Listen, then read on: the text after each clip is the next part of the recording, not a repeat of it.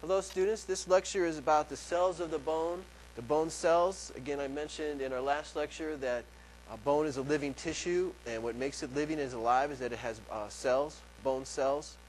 We'll start off with, first of all, the, uh, the bones have what are called uh, osteogenic uh, or osteoprogenitor cells.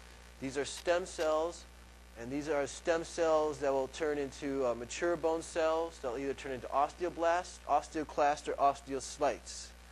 And these stem cells, uh, at least in the adult uh, and children in the adult, tend to reside in the periosteum and the endosteum. They reside under those bone membranes. And they'll give rise again to osteoblasts, osteoclasts, and osteocytes. The osteoblasts, the key thing about them, they're the bone forming cells. They will make bone. They will build the bone matrix and the necessary collagen fibers that are part of that bone, uh, bone matrix. Uh, here's an osteogenic cell, the stem cell. Here's the osteoblast, the, the uh, bone cell that creates the bone matrix and allows for bone growth.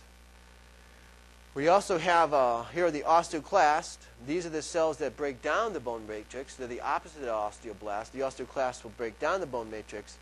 And then finally, the last type of bone cell we have are the osteocytes. And this is the mature bone cell, and its function is to maintain the bone matrix. And so again, here we have the osteocytes. This is the mature bone cell. It's going to maintain the bone matrix and make, make sure the bone, bone matrix uh, stays viable and intact.